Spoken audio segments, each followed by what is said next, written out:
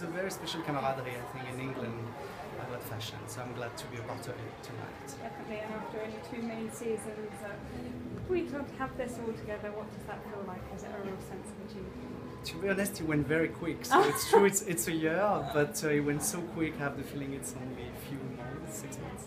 Uh, but everything is going very well. Yeah, I'm super happy. I mean, the, the, the house of Louis Vuitton is extraordinary, and I'm still discovering uh, so many things every day. So it's very inspiring, and it's what a designer uh, needs is to be inspired. Super. Congratulations. Thank you, thank you.